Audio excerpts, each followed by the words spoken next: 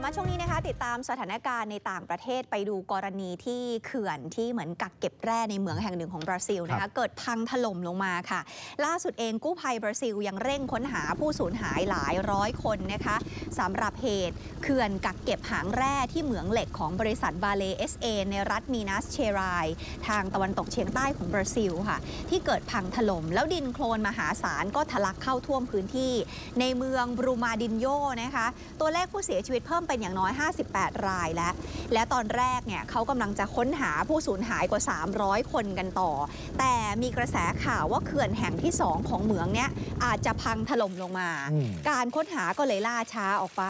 เจ้าหน้าที่มีการประกาศผ่านลำโพง เพื่อเตือนประชาชนใครก็ตามบ้านอยู่รอบๆเหมืองเหล็กนี้นะคะ ให้ระวังอันตราย เพราะว่าน้ำในเขื่อนมันเพิ่มสูงขึ้น เจ้าหน้าที่เองนะคะ ก็ยุติการค้นหาผู้รอดชีวิตไปก่อน ทางดับเพลิงเองใช้เวลาตอนเช้าวันอาทิตย์ตามเวลาท้องถิ่นค่ะ เร่งอพยพประชาชนหลายพันคนออกจากบ้าน ก่อนจะเริ่มค้นหาผู้รอดชีวิตอีกครั้งในช่วงบ่าย หลังจากเจ้าหน้าที่ป้องกันภัยพลเรือนปฏิเสธความเสี่ยงว่า ไม่จริงหรอกไอ้ที่บอกว่าเขื่อนแห่งที่ 2 จะถล่มลงมาด้วยเนี่ยครับนะคะ ส่วนสาเหตุของเขื่อนแตกนั้นก็ยังไม่ชัดเจนกำลังตรวจสอบกันอยู่ค่ะ